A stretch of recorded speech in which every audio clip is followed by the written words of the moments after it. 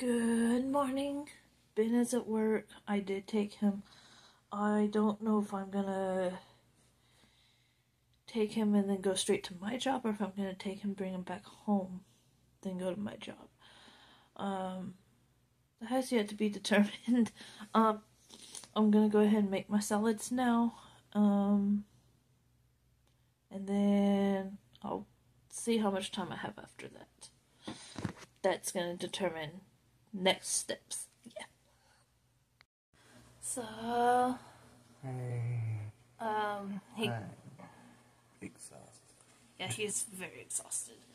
Um, he did the worky work, and then I went to go pick him up. We got gas in the car, air in the tire. Yep, Took me to work, sure did. and then Ben went to the wrestling show. Yeah, it was a good show. Did things. He did things. Then immediately after, I drove back to pick me up. to her. To pick her. Yeah, Yeah. I'm sorry. No, nothing to be sorry for, okay? You sleep. Uh, we're gonna go sleepy sleep and hopefully wake up for church tomorrow.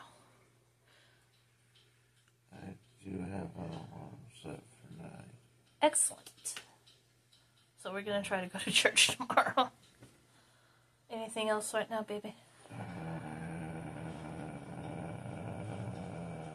don't think so. With that, God's will be done. Much love to you all.